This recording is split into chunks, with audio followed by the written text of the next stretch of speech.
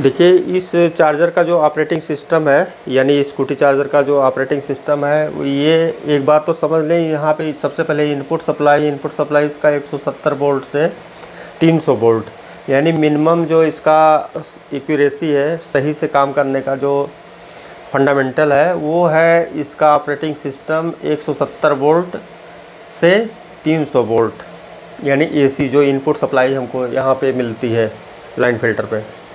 और इसका जो फ्रिक्वेंसी है, ये है सैंतालीस हर्ट से, ये 63 यानी तिरसठ हर्ट्स तक हर्ट्स तक है। ये जो इसका इनपुट एम्पियर जो करंट लेता है, जो हमारी ग्रिड की सप्लाई है, या जिससे चार्जर का जो कैपेसिटी है, जो करंट लेता है, इसको चार्ज करने के लिए, उसका मैक्सिमम जो कैपेसिटी है, एक एम्पियर है।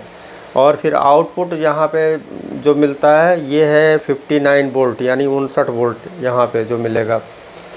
और ये करंट इसका जो लिमिटेशन है, यानी बैटरी के लिए जो सप्लाई वो करंट जाएगी, एम्पेयर कैपेसिटी वो है थ्री एम्पियर, यानी तीन एम्पियर, जो लिथियम बैटरी के लिए डिज़ाइन किया गया करंट है। और जैसे जैसे हमारा बैटरी चार्ज होता जाएगा करंट कम होता जाएगा। ये हम ऑपरेटिंग सिस्टम में समझेंगे, जब इसको हम ओके करके और बैटरी को चार्ज करते हुए इसके वोल्टेज पोजीशन दिखाएँगे। और ये इसका जो डिटेल है कि कि मतलब फुल चार्ज पे कितने वोल्टेज होने चाहिए और जो है चार्जिंग पीरियड में। तो ये सब सारे चीज़ें क्लियर करते चलेंगे हम साथ। नमस्कार दोस्तों। ये जो हमारा चार्जर है स्कूटी का ये है चार बैटरी पे है और यानी फोर बैटरी पे डिज़ाइन किया गया ये 48 वोल्ट का लिथियम बैटरी जो आता है। स्कूटी में लगते हैं वो फोर बैटरी होते हैं और 12-12 वोल्ट के बैटरी होते हैं। यानी ट्वेल्व वोल्ट की बैटरी चार बैटरी। इसी पे ये डिज़ाइन किया गया है और ये आप लोगों के काफ़ी डिमांड पे मैंने इसको जो है बनाना स्टार्ट किया है। हमारे पास बहुत सारे चार्जर अभी इस इससे भी जो है लेटेस्ट डिज़ाइन के हैं। लेकिन एक मैंने इसमें जो एक बेसिक को यानी बेसिक कॉन्सेप्ट को चुना कि जिससे आपको पहले सम, समझ में आए कि इसकी एम्पियर वोल्टेज की कंट्रोलिंग कैसे होती है। यानी जो बैटरी को सप्लाई जा रही है उसमें एम्पियर वोल्टेज की टेस्टिंग कैसे की जाए? जैसे कि आपके पास अगर कोई प्रॉब्लम आता है, इसमें फाल्ट आते हैं तो कौन सा मॉड्यूल लगाते हैं? और मान लीजिए मॉड्यूल लगाए तो मॉड्यूल लगाने के बाद यहाँ पे वोल्टेज ऑपरेट हुआ, वोल्टेज चल गया, वोल्टेज आउट हो गया, बैटरी पे लगा दिए। लेकिन बैटरी की जो कंडीशन होती है कि वो चार्जिंग यानी जब बैटरी फुल चार्ज हो जाए तो वो फुल पोजीशन में यानी फुल एक्यूरेट, एक्यूरेसी वहाँ पे है कि नहीं, वो कैसे हम क्लियर करेंगे? उसके लिए सबसे पहले हमको ये समझना ज़रूरी होता है कि जैसे यहाँ पर देखें, ये ये, यही सर्किट है और इसी का ये डायग्राम है, ठीक है? इसमें देखिए, हमने जो है, कुछ मॉड्यूल लगाया है और रिसर्च किया है इसके ऊपर। इसकी वर्किंग प्रोसेस के ऊपर और इसकी जो ओवर हीटिंग होती है और मैचिंग होता है जैसे किसी की किसी की अगर फ्रिक्वेंसी मैच नहीं होगी तो बहुत तगड़ा यहाँ पे नॉइस आएगा। आप अलग से मॉड्यूल लगाएँगे, या जब सेकेंडरी में कोई प्रॉब्लम होगी यहाँ पे तो भी ये बहुत ही नॉइस रिएक्ट करेगा जब मॉड्यूल लगाएँगे। तो हम यहाँ पे मॉड्यूल लगाने के लिए नहीं आपसे कहेंगे। ये बहुत ही इजी प्रोसेस है। हमने इसको थोड़ा डिज़ाइन किया है। अभी आप स्क्रीन स्क्रीन शॉट ले लें। हम अभी इसमें और भी मॉडिफाई करेंगे। ये अभी अनकम्प्लीट है। क्योंकि इजी बनाने के लिए हमने जो है इसमें काफ़ी प्रयास किया है सीधा सीधा कि ये डायग्राम ही आपको मतलब पूरा समझ में आ जाए देखते ही। और मैं कोई भी डायग्राम डिज़ाइन भी करता हूँ ऐसे कि आपको डायग्राम ही बता दे कि हम ऐसे ऐसे काम करते हैं। तो मैं इस भाव से इसको डिज़ाइन करता हूँ। कोई भी डायग्राम ही तो यहाँ पर देखें हम इसको आप स्क्रीनशॉट ले लें। हम नेक्स्ट इसका और इजी ऑप्शन बताएँगे। तब आप इसकी, ये जो स्क्रीनशॉट है और जो हम नेक्स्ट बनाएँगे दोनों की टैली करेंगे तो आपको थोड़ा सा इसमें मोडिफिकेशन मिलेगा और उसमें समझने का जो मतलब होगा, वो चीज़ें स्पष्ट होती नज़र आएँगी।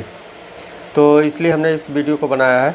देखिए, इसमें क्या है कि ये जब फॉल्ट होता है मॉसपेट हमारा या चाहे IGBT जिस पर डिज़ाइन किया गया हो तो आपको इसी हीट सिंक पे जो भी जैसे है, क्योंकि अलग से मॉड्यूल लगाएँगे तो यहाँ पे बैठाना हुआ, या इसकी मैचिंग अगर ठीक से ना हुआ, या ठीक से काम ना करे तो ये सब सारी चीज़ों को हम देखते हुए यहाँ पे एक इजी ऑप्शन निकाले हैं, जो आप इसी को रिपेयर कर सकते हैं, और बहुत ही आसानी तरीके से।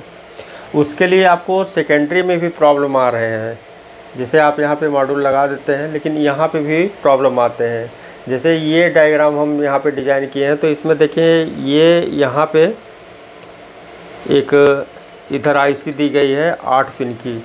ये ये आईसी जो है, यहाँ पे दिखा दें ये। ये आठ पिन की आईसी है, इसका जो है, वो नंबर रिमूव किया गया है, यानी ऊपर से इसकी आईसी का नंबर हटा लिया गया है। ये है एससीआर जो इसकी चार्जिंग के कंट्रोलिंग के लिए लगाया गया है। एक आईसी है ऑपरेशन एम्पलीफायर जो कि यहाँ पे हमारा फ़ैन हुआ इंडिकेशन हुआ, या इसकी कंट्रोलिंग हुई, जो फीडबैक के रूप में इसको P W D P W M I C को दिया जाता है, जिससे इसकी जो है स्विचिंग कंट्रोल होती है। और दूसरी बात ये, इसमें समझे कि कोई भी अगर डिज़ाइन किया जाता है पी एस चाहे वो चार्जिंग के लिए हो, चाहे कोई भी पावर सप्लाई के लिए हो उसकी एक फिर फिक्स फ्रिक्वेंसी होती है जिस पे ये ऑपरेट कराया जाता है। यानी जब डिज़ाइन किया जाता है तो इसकी एक फिक्स फ्रिक्वेंसी रखी जाती है। चाहे वो हंड्रेड हार्ट्स हो, चाहे एक हज़ार हार्ट्स हो वन किलो हार्ट्स हो, चाहे दो सौ हार्ट्स हो, यानी जिस फ्रिक्वेंसी पे भी ये डिज़ाइन की गई है उसको यहाँ पे इसके गेट पे मिलने चाहिए वो फिक्स उसकी फ्रिक्वेंसी बैलेंस बनाने के लिए ही सारे डिज़ाइन किए जाते हैं, जो फीडबैक दिए जाते हैं या करंट सेंसिंग की जाती है, कि इसकी एक्यूरेसी बनी रहे। जैसे ही अपने फिक्स फ्रिक्वेंसी पे काम करता रहेगा, उसी के अनुसार यहाँ पे आउटपुट भी कांस्टेंट मिलता रहेगा। यही रीज़न है कि इसके फीडबैक के अकॉर्डिंग ही इसकी स्विचिंग को कंट्रोल करके मैनेज किया जाता है, इसके आउटपुट यानी यहाँ पे जो स्टार्टिंग होती है स्टार्ट होने के बाद यहाँ पे आउटपुट आउटपुट के बाद फीडबैक फीडबैक के बाद जो है इसकी कंट्रोलिंग ये साइकिल हमेशा कंटिन्यू चलती रहती है। और भी चार्जर हैं जिसमें आप स्टैंड बाई इसे बंद भी कर सकते हैं। वो बैटरी के लगाने पे ही ये चार्जर आपका काम करेगा। जब बैटरी नहीं लगाएँगे तो चार्जर काम नहीं करेगा। ऐसे भी डिज़ाइन के हमारे पास चार्जर हैं। मतलब बहुत ही स्टैंडर्ड तरीके का भी है, लेकिन वो काफ़ी कॉम्प्लिकेटेड है। ये हमारा बोर्ड छोटा पड़ जाता है। ये जब तक डिजिटल नहीं होगा, तब तक ये प्रॉब्लम आएगी। फिर फिर भी हमारा जो इससे